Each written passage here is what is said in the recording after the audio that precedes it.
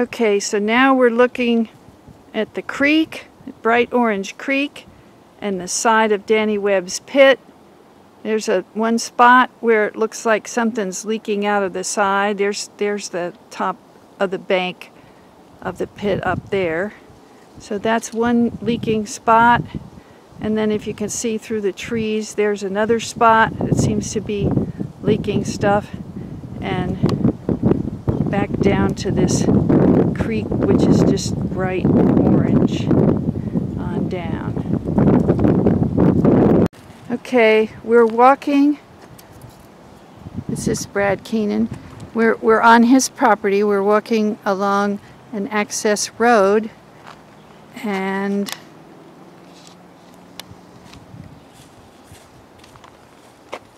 here's a picture of the creek coming down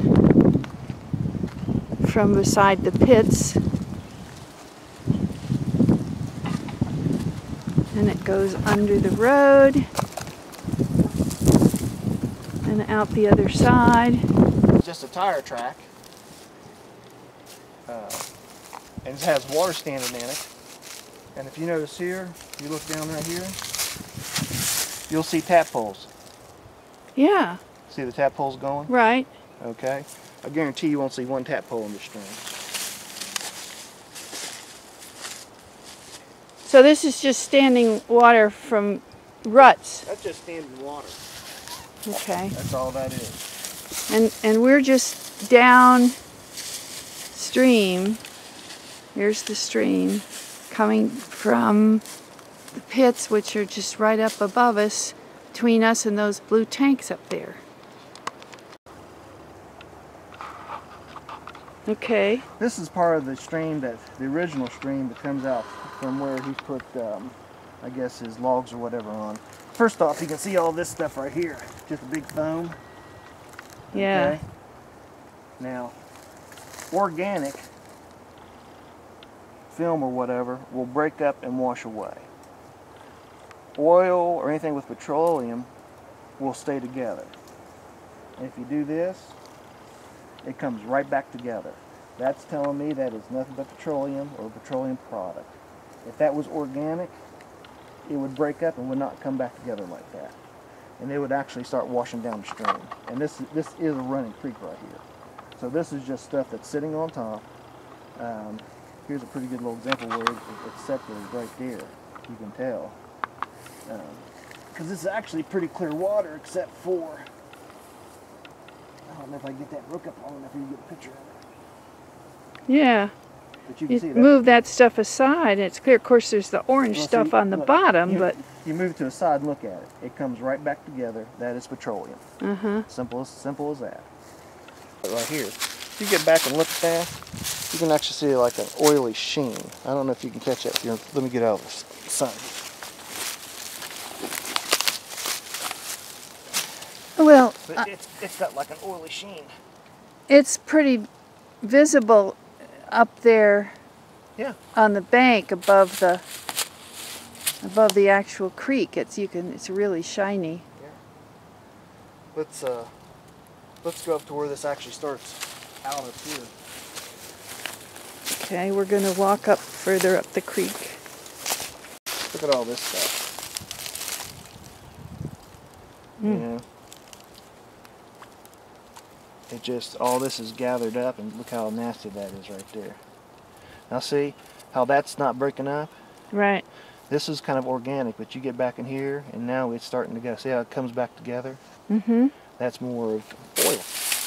Or petroleum, I should say. Yeah, it's really Now, I'll show you where they've got the stream now. So let's walk over to uh, our left.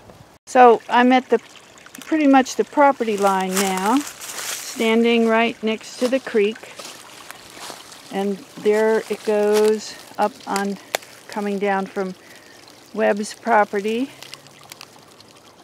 and alongside the pits where that I earlier took a picture showing the um,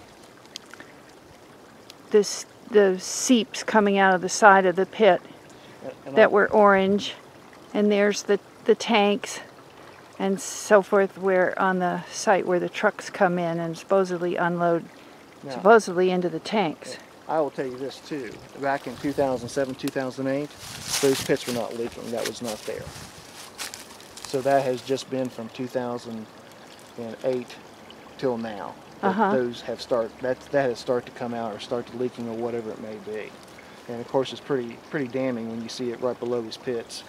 Um, you- you have to you have to figure it comes out of these pits. Right. I may trespass a little bit here. I'm not you- sure I'm going over the I property don't know line. you're trespassing. You have to have uh, signs up to do anything like that. So. so I can see get a actually- better picture. There's the areas where the at below the pit where stuff seems to be leaking out. I mean, there's nothing growing. They're just bare kind of stained areas at the base of the impoundment for these pits.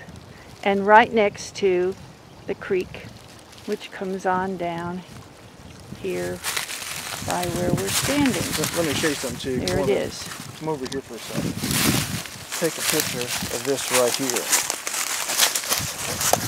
See that right there? Now Yeah. watch this. All the brand new vegetation, it's just covered it up. So, what's going on? You can tell that was even green at one time. So that's just Huh. happened recently, and you can see how much.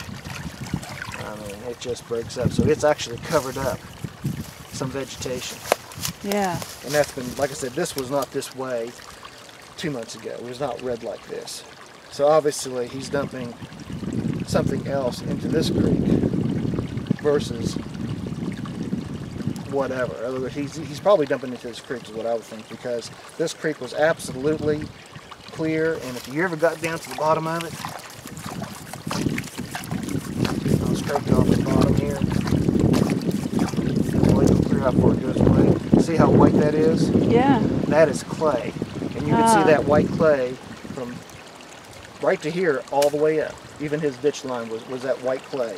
And nothing sticks to white clay. I mean, Yeah. nothing can hardly penetrate it. So this is just laying on top. That's you know, that's where he's dug it out and he's dug clear down the clay.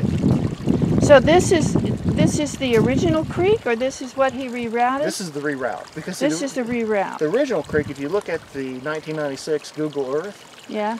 the creek actually goes over towards this pond. Uh huh. and then cuts back over and comes out over there. What he's done when he built the ponds, he's dug a, it's straight as an arrow. How many ponds are straight as an arrow? Or how many mhm. how many creeks are straight as an arrow? Right. He's dug from there all straight down, and then you know doing this. And like I said, it's a straight line until it starts to get to our property, and then it starts meandering again like a creek should.